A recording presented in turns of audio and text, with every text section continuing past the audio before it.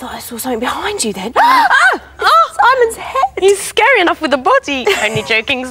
Now, as you heard in the film, the Victorians were mad about ghosts. Very good, Connie!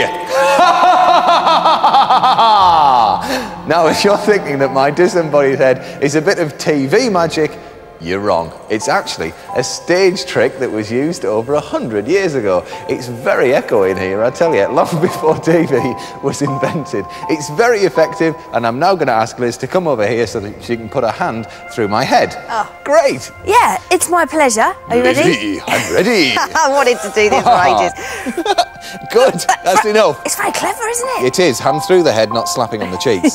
Thank you. Now, it was invented by a Victorian scientist called Professor John Pepper, and uh, it was used a great deal in theatres all over the place. And not surprisingly, the trick or the illusion was actually called Pepper's Ghost. And this is how it works. The actors had to stand in front of a large pane of glass which was angled at 45 degrees. Everything else on the stage, all of the background and the cloaks had to be black, and that is because the whole illusion depends on the shining of light. And if it was to shine on anything else other than black, then the whole illusion would be ruined. Now, we don't have a theatre audience here in the Blue Peter studio, but we do have cameras, and this is Suzanne on camera one, who was pointing her camera at my reflection. So instead of Liz putting her hand through my head, what she was simply doing was jabbing at my reflection. And oh dear me, here she comes again, Liz.